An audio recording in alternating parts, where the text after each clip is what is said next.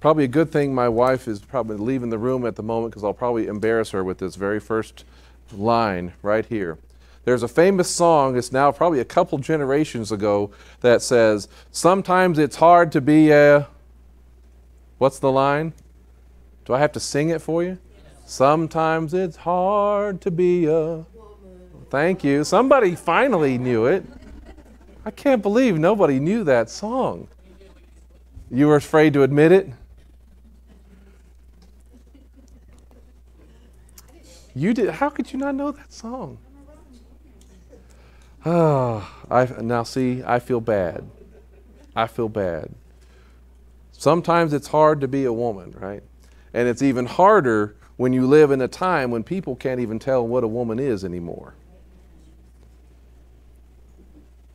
If you haven't seen the, that documentary, that actually came out and they did that for free yesterday. I don't know if it's still even available. I would recommend it. But this kind of difficulty is not necessarily a new thing. You know, for you ladies, it's been around for a long time. And you, know, you may have a hard time, or you may be standing by your man, as the song kind of goes. But what if he doesn't believe that? What if he doesn't believe in you? What, what is it like to bear an accusation, even that is untrue? That's some of the things that's going on in this Torah portion is that idea of accusations. It's in Numbers chapter 5.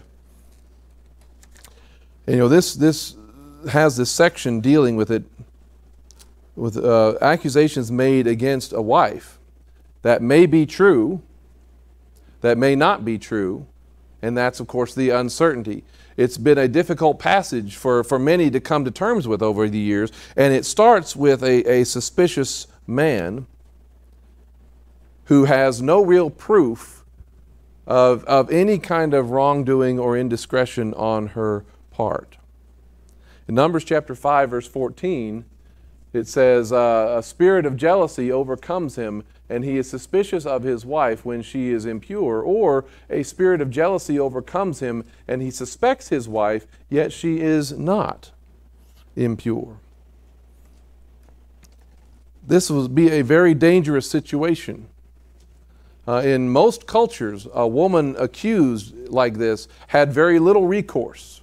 She had very little protection. You know, verse 13 talks about it giving information that what, what was lacking about not having any kind of, of witnesses. She was not caught in the act. So, but in many cultures, that didn't matter. Being caught in the act didn't matter. Not having, witness, having witnesses or not having witnesses wasn't even necessary.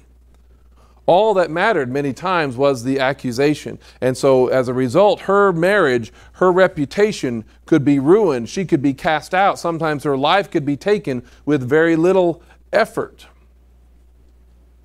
But God's people were supposed to be different. But in, in many of these cultures, everyone, and even when just an accusation gets made, Everybody forms an opinion, don't they? Don't everybody like to have an opinion about the gossip and all the things that's going on in the world? Everybody forms an opinion. Rumor starts to fly, and it's all based on an accusation of infidelity. And imagine that the accusation is said about you, but you are the faithful wife. Imagine how hard that would be being accused, having false things said about you, things that could not be proven or even really unproven. And it's said by your own husband, the one who is supposed to be your protector, the one who's supposed to be your provider. What's your recourse? What can you do to defend yourself? What if everybody believes him? You know, if they were to go out to a, a secular court, they were governed by a different Torah, a different law, she could lose everything, right? Imagine being innocent of the charges before a secular or even a corrupted court. When the outcomes uh, is determined more by bribery or politics more than truth and justice, when outcomes and judgments are often known long before any witness is even called, I mean, it's not like we have any troubles with that these days, right? That's not happening anywhere in this country, is it? See, the further a country and its laws get from the Torah of God, there is a greater injustice and abuse that is possible. That means more of the innocent get condemned and more of the guilty get let off.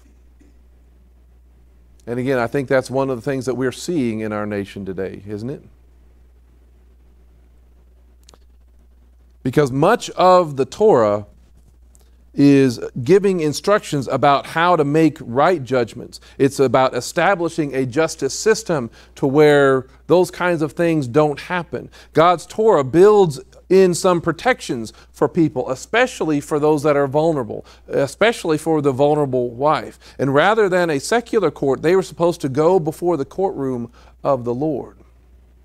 You know, in chapter 5, verse 15, it says, if he suspects these things, if he is jealous uh, for whatever reason, he, he should take his wife to the Cohen, to the priest. He must also bring a tenth of an ephah, so he's bringing an offering of barley flour as an offering for her. He is not to pour oil or put incense on it because it is an offering for jealousy, a reminder offering, drawing attention to guiltiness. The Cohen is to bring her near and have her stand before Adonai.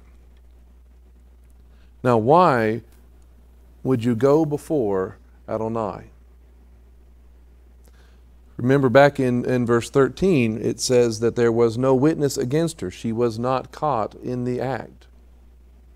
Why go before Adonai? And here you are in a day when there were no photographs, there was no security footage, there was no hidden cameras. Isn't it a good idea to go to the God who sees? Go before El Roi. And that comes out of Genesis chapter 16 with Hagar. He is the God who sees everything. Nothing is hidden from him. Nothing escapes his notice. You know, as Psalm 139 talks about, he says, Adonai, you searched me and you know me. Whenever I sit down or stand up, you know it. You discern my thinking from afar. You observe my journeying and my resting, and you are familiar with all my ways. Where can I go from your Ruach? Where can I flee from your presence? If I go up to heaven, you are there. If I make my bed in Sheol, look, you are there too. If I take the wings of the dawn and settle on the other side of the sea, even there your hand will lead me, and your right hand will lay hold of me. If I say, Surely darkness covers me, night keeps light at a distance from me, but even darkness is not dark for you, and night is as bright as day. Darkness and light are alike. See, there's no place that you can go that He is not able to see exactly what is going on in your life. And that truth is comforting for the innocent wife. The fact that He is the God who sees and knows exactly what her situation is. Now, on the flip side of that, that truth should not be very comforting for those who are doing wrong. For those who are trying to get away with things, because God sees that too. Your only way out realizing that God sees everything is through repentance, through teshuvah, the work of Messiah. And see, here in this situation, despite all of the jealousies and accusations of someone who was not there, someone who didn't see anything, who doesn't know anything, you are putting, going before the Lord, you are putting your trust in the one who was there and the one who saw everything, who knows exactly what is true. And it takes more than just, you know, his feeling of jealousy, more than just his suspicions and his fears and insecurities to convict her, and God provides a way to discover the truth. It says, Then the Cohen is to take some holy water in a clay jar and take some dust from the floor of the tabernacle and put it into the water. Then the Cohen will have the woman stand before Adonai, loosen the woman's hair, put, her, put into her hands the reminder offering, the offering for jealousy, while in the Cohen's own hands are the bitter waters that bring a curse. It says, Then the Cohen will have her swear under oath, and then say to the woman, If no man other than your husband has slept with you, and if you have not gone astray into impurity from your husband, may this bitter water that brings a curse not harm you. For the wife who has been falsely accused, this is a great protection protection from an irrational jealousy, from anger, from malice, from agendas, from lies or other whispering rumors. It's a comfort because God knows the truth. His opinion is the only one that matters. He will see that justice is done. And if she is innocent, the bitter water will not harm her. And, you know, that's how it says in verse 28 If, however, the woman has not defiled herself and is clean, she will be free from guilt and be able to have children. You know, there's no uh, indication anyway that the effects were instantaneous. You know, it talks about her her her stomach, her belly, you know, swelling up, her thigh, you know, deteriorating. There's no indication that that was an instantaneous thing. But if she is innocent, she will remain healthy. She will be able to bear children, and you might not see the fruit of that for some time. But this proves that he is able to vindicate the innocent. It proves also that he is able to convict the guilty even if nobody was there to witness it. Even if there no, is no proof. And that is quite the contrast to the way our systems work. You know, the court of a pu- public opinion may assume guilt, right? Doesn't it often typically assume guilt? You hear one thing bad about somebody and you typically believe the worst. That's how all the newspapers do it. That's how all the, the rumor magazines take it. They're assuming the worst. Even a secular court may unjustly rule against you.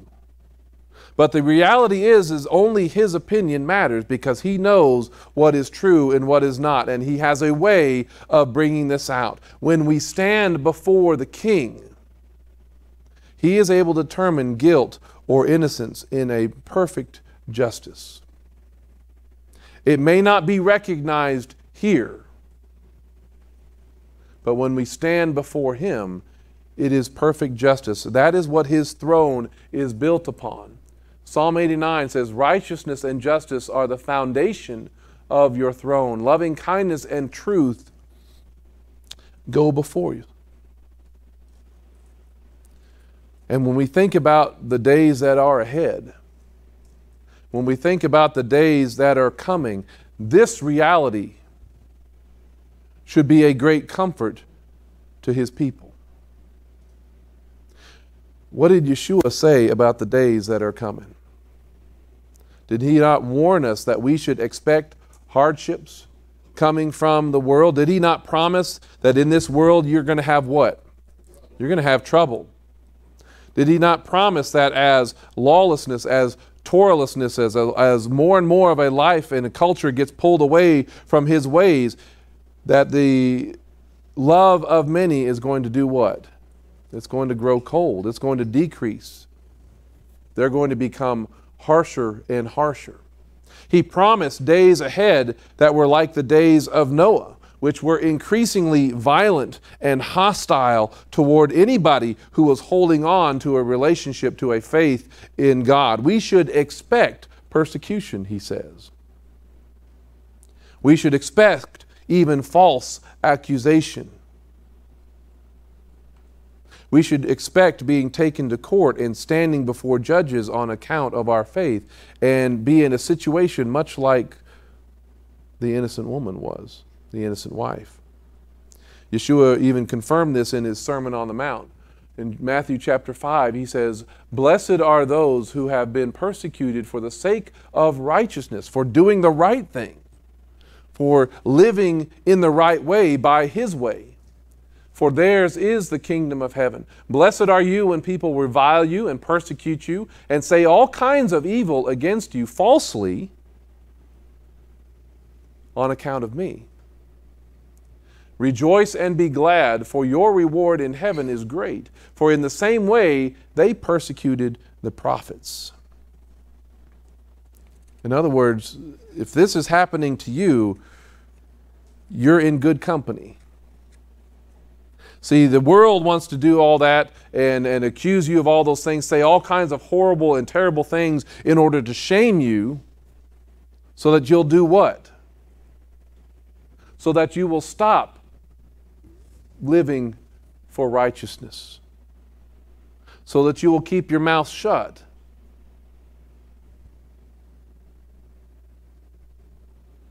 When it's time to speak. And see, as the world and its system decays, you know, that should we should expect this to be happening more and more. Peter even warned about the people who have bought into a life of Torahlessness. You know, when he's talking about carrying out the desires of the pagans in 1 Peter chapter 4. And he goes through a long list of things that they like to do, and it's like reading the newspaper. But he says, they are surprised that you do not run with them into the same riot of recklessness, and they will vilify you. Because you don't go along with it, because you don't participate in it, they're going to start saying all kinds of bad things about you because you're doing what is right. It's, the statement is very similar to a pattern that we've seen play out in our lifetime in, in our culture in regard to immorality. It's a cycle that has it's you know it's local, it's state, it's national, it's it's in churches, it's in political parties, it's it's everywhere. It's that cycle of immorality. You'll probably seen variations of this. In fact, I saw one this morning right after I uh, put this up here, but you know it starts out with tolerating the immorality, tolerating the wrong, putting up with it. Okay, it's there. Okay, you're free to do what you want to do. We're just going to not say anything about it. And that moves then to acceptance, where it becomes the new normal and everybody else says, okay, this, is, this has now been approved. Then it goes to the idea of promotion. Have y'all seen this before? Then, then you're supposed to start promoting it. Then you're supposed to be encouraging it. Then you're supposed to start celebrating it. And it really moves from there to not just promotion, now you've got to participate in it. And if you don't, you're now the one that's in the wrong. You're, you're supposed to participate in it, but if you don't participate in it, then surely we're going to make sure that your, your children and future generations do. Because now it's normal. Now it's a part of the culture. Now it's a part of regular life. And you're going to be giving your children to whatever it is. The, the, what I found right after I wrote this was another variation of it. First, we overlook evil, then we permit evil, then we legalize evil. Then we promote evil, evil, then we celebrate evil, then we persecute those who still call it evil. That's the cycle. Where do you think we are in this cycle?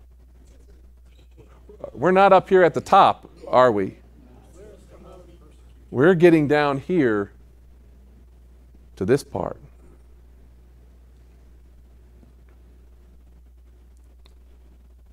They are surprised that you do not run with them into the same riot of recklessness, the same flood of dispensation, I think is what one of the other translations will say. And so they vilify you. You become wrong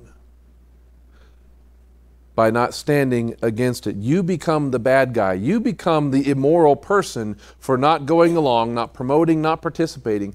But the great thing about it is in, in this same passage, Peter also provides some hope. And it's the same kind of hope that the woman had, the innocent wife has in verse 5. But they will have to give an account to the one who stands ready to judge the living and the dead. Are they going to have to stand before Adonai? Yes, they are. And is it the same God who sees her innocence is the same one who sees their guilt? Yes. The comfort is that whether or not public opinion ever changes for your benefit, that you are ever vindicated, that the false accusations are ever proven untrue, ever found not guilty by the standards of the world, whether any of that ever happens, those who vilify you will have to stand before God and answer for what they have done. You know, he, Peter goes on to repeat Yeshua's warning from the Sermon on the Mount just a few verses later in verse 14 of chapter 40, of chapter 4. He says, If you are insulted for the name of Messiah, you are fortunate, for the Spirit of glory and of God rests on you.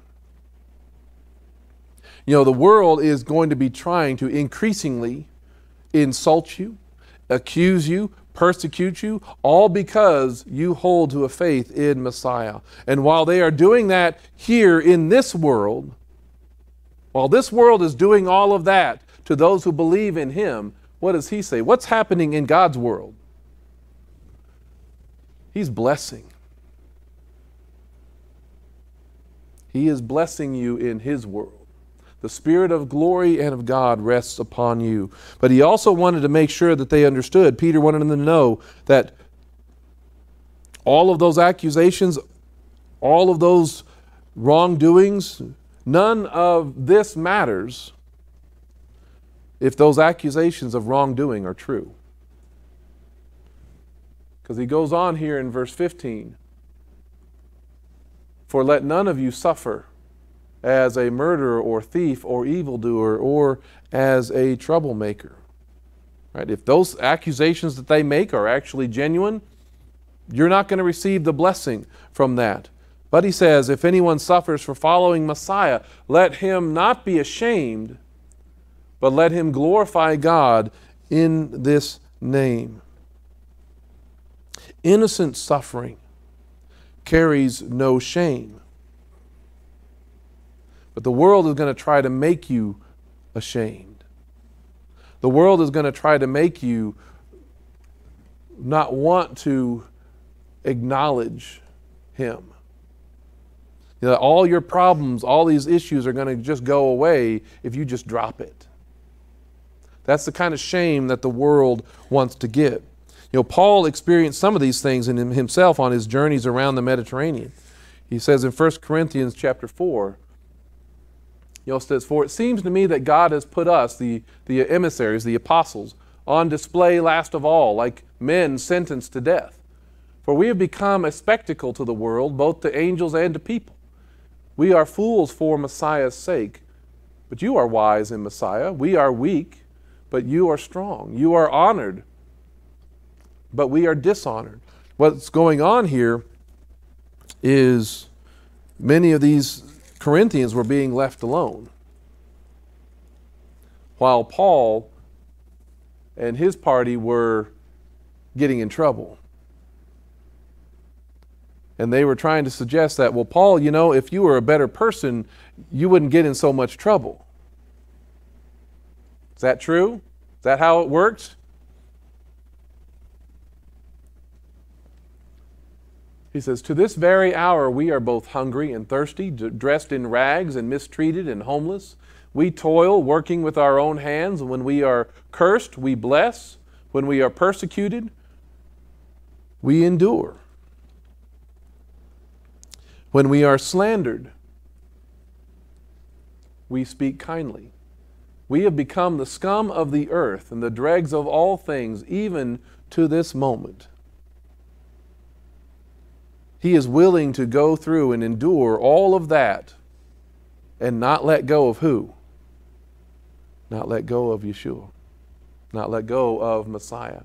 He says, I do not write these things to make you ashamed, but to warn you as my dearly loved children. Why does he have to give them a warning? Because it's coming for you. It's coming for you too if you take this faith seriously, if you hold on to Messiah, you are not going to ever be exempt. You may be okay at the moment, but it is coming for you. Most of us have not gone through anything like that in our walk of faith. Agreed? Historically speaking, we've got to understand that not experiencing these things, that's the exception rather than the rule. We have been extraordinarily protected here in this nation for the last couple of hundred years. Here, we, we have not had to go through that. It's going around, it's going on in other places. But the more that we strive to live for God, the more that we stand out, uh, and the more likely that we're not going to be going down that broad road that leads to the wide gate of destruction. The more that we live f- by Him and His ways, the more attention gets drawn to us. And they will come against us for, for wanting to stay on the narrow path that leads to the narrow gate that leads to life you know, in coming against us, we're going to be forced to deal with loss. Loss of friends and family, loss of jobs, loss of being accepted in polite and cultured society. You're going to have to deal with all kinds of accusations that are coming our way, false accusations, and standing before some kind of civil authority. And if it hasn't happened to you, I'm thankful for that. But understand that it will likely happen in the days and the years ahead because it is already happening. It is already happening in various places, happening in, in Canada, in England, Australia, where you know praying on the sidewalk can get you arrested, where reading from the Bible can get you arrested. You know, these centers of Western civilization are starting to turn against those who are, who are holding to Messiah. You know, it's happened already to pro life advocates here in America. It happened just the other day to a baseball player who shared a post on Facebook, who the, he then had to feel the pressure and back down, unfortunately. You must be prepared for that possibility.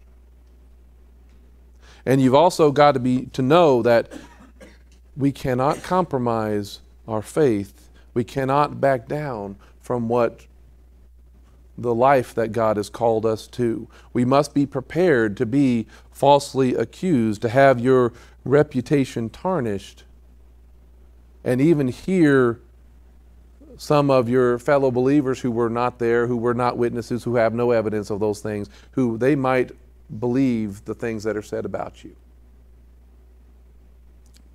But you need not be ashamed if those accusations are false. You must be prepared to defend on the Father, depend on the Father in such moments for vindication because public opinion, public acceptance does not matter. He is the only one who knows, He is the only one who sees. Because we've seen in this country that even if you do compromise, even if you do give a little, if you're not all in, if you're not fully accepting, if you're not fully embracing, promoting, celebrating, and participating, if you don't join with them in that same riot of recklessness with all your heart, soul, mind, and strength, will you be accepted? Will the accusation stop? Or will the pressure continue until you, fu- you fully cave? That's the, that's the pattern if you still claim Yeshua at all, you will not be accepted by the world. We cannot seek or win the world's approval. We must live for God's and seek His approval. Remember this verse, verse 15. Let none of you suffer as a murderer, thief, evildoer, or as a troublemaker. These are the kinds of things that cannot define who we are. Are they going to say these kind of things about you? Yep, they sure are. And if these things are true, then we cannot expect God's blessing. We cannot claim persecution if we're actually doing wrong. Peter says just a couple of chapters earlier, he says, Loved ones, I urge you as strangers and sojourners to keep away from the fleshly cravings that war against the soul. He says, Keep your conduct honorable among the Gentiles, among the pagans. Then while they speak against you as evildoers, they may, there's always the possibility that some of them, somewhere, they may, from noticing your good deeds, glorify God in the day of visitation. There may be some, even in the midst of the accusation, that come to know Him through that. Because God sees all of this. Our conduct matters to Him and to the world. And while most may condemn, some may want to know more. Some may come to faith. What they want, might want to know what makes you different. Why are you not willing to go along with everything else? And they may be, end up being beside you, glorifying God in worship on the day of His return. But here's the hard part about all of this the hard part about the God who sees, He really does see. And there's nothing that is hidden from your sight, from his sight. You know, I asked you earlier to imagine yourself as the innocent, falsely accused wife and how this was seen as protection. But the reality is, in a spiritual sense, since all have sinned and fallen short of the glory of God, we're not the innocent wife, are we? In reality, in the spiritual realm of things. You know, Isaiah chapter 2 reminds us that our sins are as scarlet. He's like, look, you want to you want to argue, you want to debate about it? Come, let us reason together. Your sins are like scarlet. That's a an absolute statement. We, we don't get to debate that. And the other aspect of that is we have a jealous husband. Exodus chapter 20, in the midst of the Ten Commandments, he says, You shall have no other gods before me. Verse 4 says, Do not make for yourself a graven image or any likeness of anything that is in heaven above, or on the earth below, or in the water under the earth. Do not bow down to them. Do not let anyone make you serve them. For I, Adonai, your God, am a jealous God. Exodus 34 14 says, Because you are not to bow down to any other God, since Adonai, whose very name is jealous, is a jealous God. Deuteronomy confirms that again. For Adonai your God is a consuming fire, a jealous God. Our husband is jealous, jealous for us. And he seeks to protect us. And the difference between our jealous God, does he have witnesses against us? Plenty.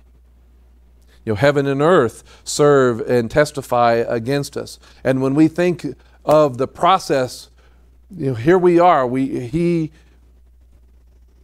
sees everything when we think of this process that's here in Numbers chapter 5 of being brought before the Lord, going to the priest and being brought before the Lord, as much comfort as that should bring when we are innocent, how do we feel when we know that we are guilty?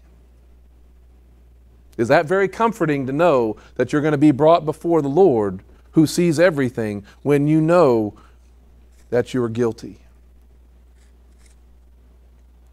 That's not very comforting. I would not want to be in that situation. You know, over, uh, do, um, this should be Numbers, sorry.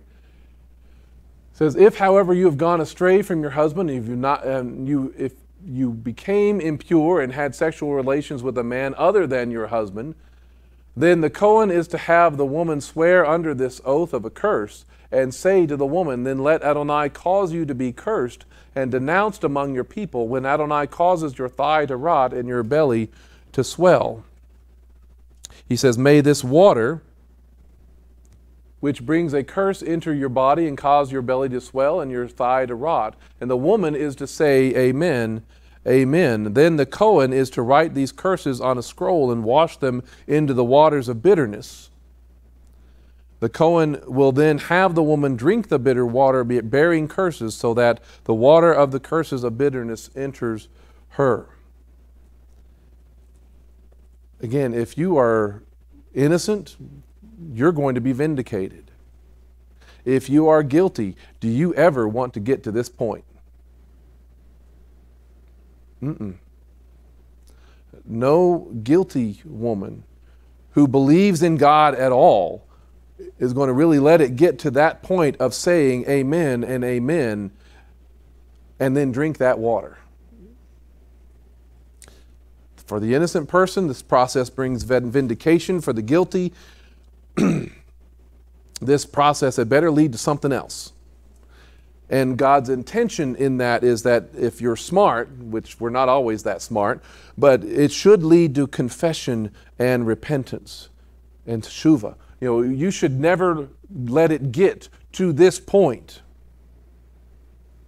when you know that you are guilty.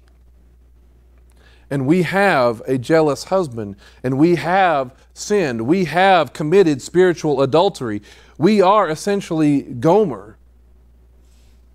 We are the, the, the adulterous wife to a faithful husband. So the only course of action for us is, again, it's confession and teshuva because we cannot pay the price for our sin. And thankfully, that's Messiah, our bridegroom, is willing to pay the price, just like Hosea, and buy back what is rightfully his already.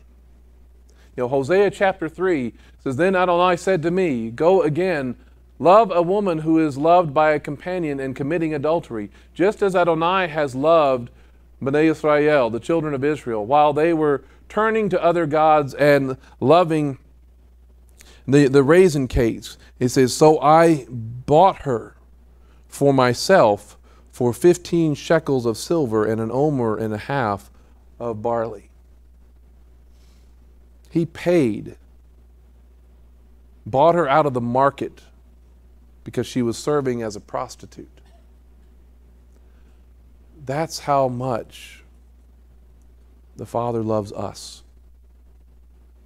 That's the, the willingness that He is willing to pay a price that He did not owe. He had rightful claim to her already. And He pays it. He is willing to pay in the market for His own bride, uh, to pay a price for her freedom when she is the one who broke the covenant, not him. And it's Hosea whose actions mirror the Messiah, takes her home and cleans her up. He removes the filth of her prostitution, just like the filth of our spiritual idolatry is removed from us. That's how Hosea talks about it in chapter 2. He says, In that day it is a declaration of Adonai, you will proclaim my husband and never again call me my Baal.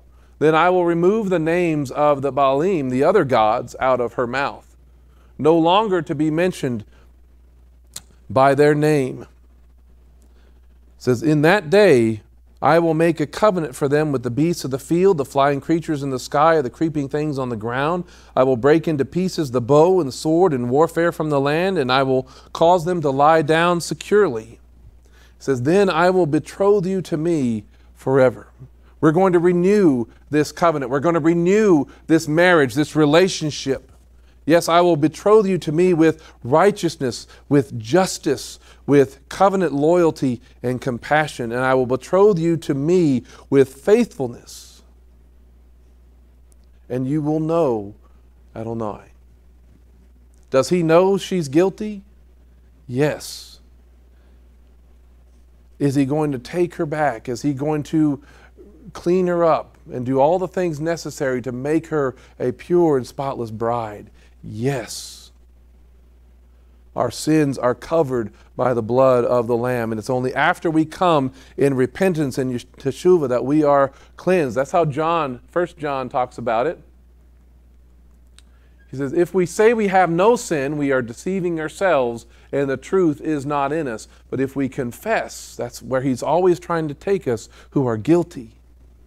If we confess our sins, he is faithful and righteous to forgive our sins and purify us from all unrighteousness. That's what a faithful husband does for his bride. Faithfulness and honor is the goal of that kind of godly jealousy. You know, 2 Corinthians chapter 11, Paul builds on that idea. He says, For I am jealous over you with a godly jealousy. For I betrothed you to one husband to present you to Messiah as a pure virgin. And when the world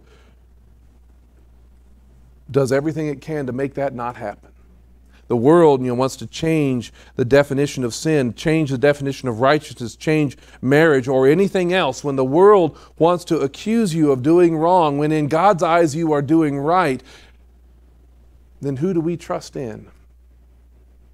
We trust in the God who sees, the God before whom we're all going to have to stand. You know, there's a passage out of Isaiah that even puts it like this. It says, For Adonai Elohim will help me. Therefore I have not been disgraced. Therefore I set my face like flint, and I know that I will not be ashamed. The one who vindicates me is near. Who will accuse me? Let us stand up to each other. Who is my adversary? Let him confront me. For see, Adonai Elohim will help me. Who is he who would condemn me? See, they all wear out like a garment. A moth will eat them up. Who among you fears Adonai, who hears the voice of his servant, who walks in darkness and has no light? Let him trust in the name of Adonai and lean on his God.